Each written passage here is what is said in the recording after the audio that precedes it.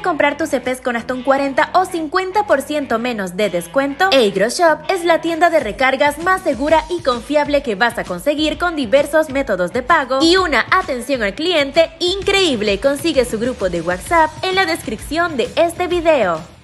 ¿Qué onda mi gente de YouTube? Hoy estamos de regreso con otro video más del Call of Duty Mobile y en este caso toca hablar y sobre todo analizar cada una de las próximas ruletas filtradas y recompensas del pase de batalla que se vendrían para la temporada número 2. Adicionalmente estaremos detallando las dos nuevas armas para saber si están rotas o no, nuevos cambios para el modo de Battle Royale y mucha más información, así que mírate este video completo para estar al tanto de todo lo que se vendría para la nueva temporada Quiero aprovechar para mandarles un gran saludito a Keimber Dago Reyes, Iván Cuevas y Jesús Yagami. Muchísimas gracias chicos por todo su apoyo, les envío un besote enorme. Antes de continuar quiero darle las gracias a mi hermosísima comunidad por todo su apoyo. Si aún no estás suscrito al canal te invito a hacerlo y recuerda también activar la campanita de notificación para no perderte ningún contenido. Ahora sí, continuemos.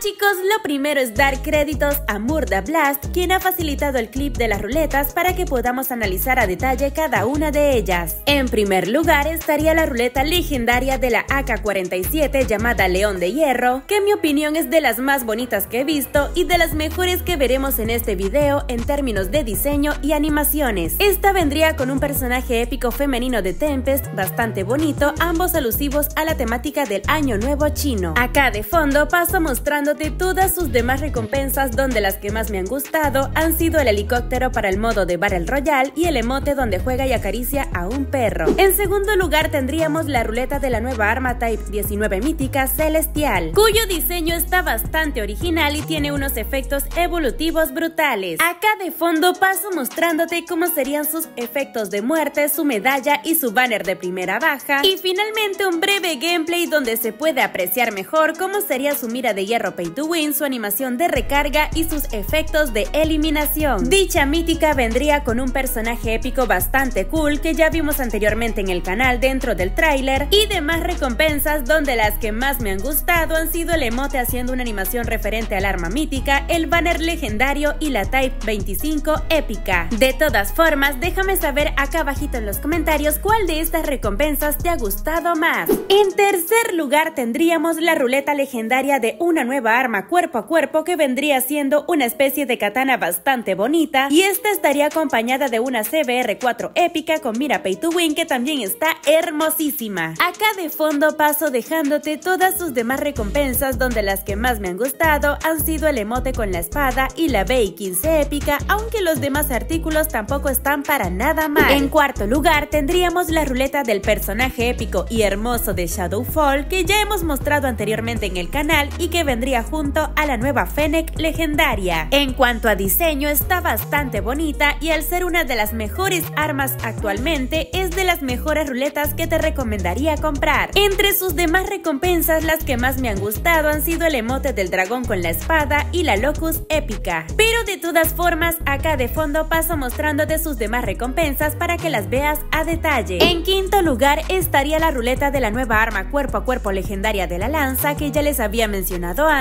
Y entre sus demás recompensas, las que más resaltan en mi opinión han sido el emote haciendo unos trucos con la lanza, la Kilo 141 épica y el personaje épico de Lon Jun, cuyo diseño sería uno de los mejores en mi opinión de las ruletas que tenemos el día de hoy. Finalmente estaría la ruleta de la DLQ33 legendaria que en términos de diseño y efectos me han dejado más que sorprendida. Esta vendría junto a un personaje épico de Cryptis bastante cool en mi opinión con su capa y efecto de movimiento en su máscara. Acá de fondo paso mostrándote las demás recompensas de esta ruleta, donde las que más me han gustado han sido el emote donde aparecen dos clones disparando, otra CBR4 épica, el carro para el modo de Battle Royale y el banner.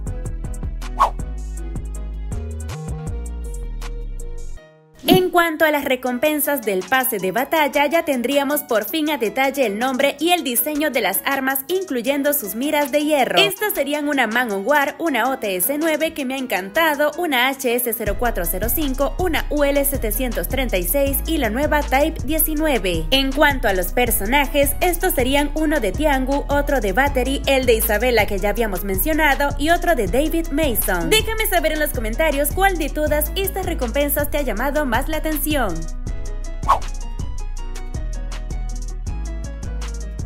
Pasando ahora con el tema de las armas. En primer lugar tendríamos por fin las estadísticas base de la nueva Type 19 y lo que me gustaría destacar es que posee un promedio de daño, cadencia y movilidad bastante bueno siendo extremadamente completa. Donde puede que decaiga un poco es en su fea mira de hierro y su alto retroceso, pero tiene un multiplicador de daño a la cabeza descomunal que te podría ayudar a eliminar fácilmente de 4 balas dentro de los primeros 25 metros. Otro lado, acá de fondo te muestro un gameplay donde se puede ver cómo sería el golpeo de la nueva arma cuerpo a cuerpo lanza, que te recuerdo tendría una versión legendaria de ruleta. La movilidad es bastante buena, pero su animación de golpeo es algo rara, aunque esperemos que se la mejoren un poco más para que se vea más fluido el movimiento, ya que se ve algo brusco.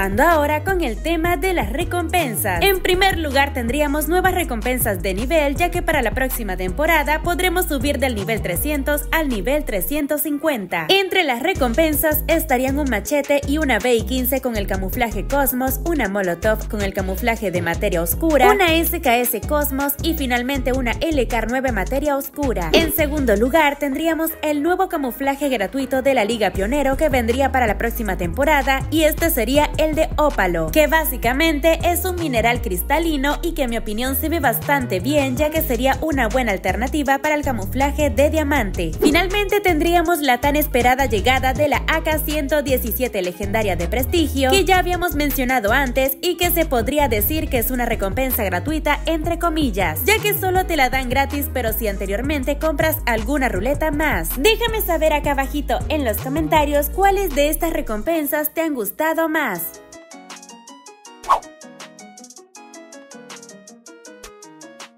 Más. Pasando ahora con algunos de los cambios que se esperan para la próxima temporada. En primer lugar tendríamos la implementación del nuevo operador llamado Havoc, que básicamente genera unas ondas de choque que puede destruir proyectiles y dañar el minimapa de los enemigos. En segundo lugar tendríamos una nueva clase para el modo de Battle Royale llamada Acelerador, que como se muestra en el clip de fondo te va a permitir correr por las paredes, volar y aumentar la velocidad de movimiento tanto al correr como al deslizarte. Por último, esta sería una lista de todas las armas que van a estar presentes en el suelo dentro del mapa de Battle Royale, donde lo que más resalta sería la ausencia tanto de la KRM como de la HS0405, pero se estaría incluyendo la nueva Type 19. Déjame saber tu opinión de las armas que estarán presentes para la próxima temporada.